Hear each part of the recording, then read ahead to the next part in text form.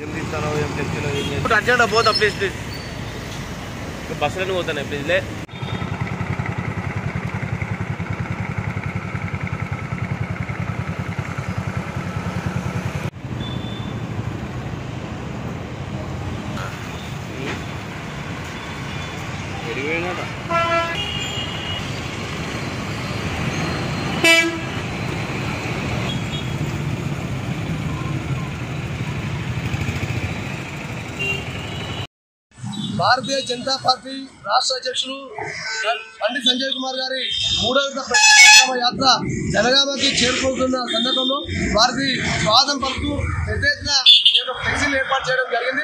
ఈ ఫ్లెక్సీల్ని ఏర్పాటు చేయడం తోటి ఇక్కడ ఉన్నటువంటి టీఆర్ఎస్ నాయకులకి వాళ్ళకి గుగుల్ స్టార్ట్ అయింది.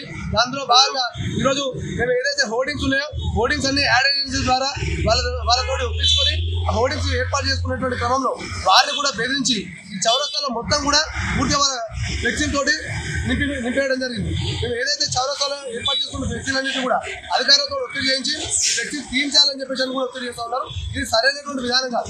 అంతేకాకుండా నిన్న రాత్రి భారతీయ జనతా పార్టీలో ఏవో వర్గ విభేదాలు అని చెప్పి ఒక పూజని చూపించి భారతీయ జనతా పార్టీలో ఎటువంటి వర్గ విభేదాలు కూడా లేవు. దాన్ని చూపించుకుంటూ అదే ఒకటి ఉన్నదని చెప్పి వాళ్ళు ఒక అభూత కల్పన సృష్టించి భారతీయ జనతా పార్టీ ఏర్పాటు చేసిన ఫ్లెక్సీలలో రాష్ట్ర అధ్యక్షుడు బండి సంజయ్ కుమార్ గారి ఫ్లెక్సీలన్నింటి కూడా చింపేయడం జరిగింది. దీన్ని మేము పూర్తిగా నిరసిస్తా ఉన్నాం. ఏదైతే అభివృద్ధి విషయంలో కొట్టాల్సింది పోయి ఈ రకంగా ఈ కోసం కానీ మీ యొక్క ఆధిపత్యాన్ని చెలాయించుకునేటువంటి విధంగానే మీ యొక్క అధికారం చేతిలో ఉందని చెప్పి అధికారం దుర్వినియోగం చేస్తే చేస్తే సహించడానికి సిద్ధంగానే మేము హెచ్చరిస్తా ఉన్నాం.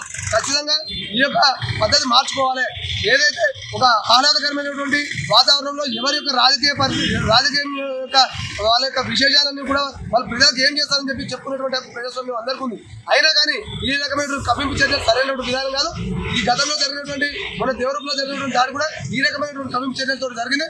మరి ఇదే రకమైన కమింపు చర్యలు జనంలో కూడా చేస్తే వారి మూల్యం చెల్లించుకోవాల్సిందే చెప్తాము